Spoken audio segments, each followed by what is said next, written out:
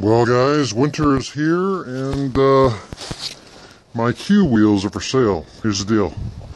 So last winter, I bought these towards the end, and had them installed in these mint fast wheels for my cube. I no longer have the cube, but I knew that winter would be here again, and so now they're for sale. They're mounted to Blizzaks, and the Blizzaks are like brand new. Uh, they are 185, 65, 15. You may not be able to see that. But the wheels are mint. They're all balanced, ready to go. It's snowing today, so just put them outside here for the picture. They've been in my shed in bags. And they're perfect and ready to go.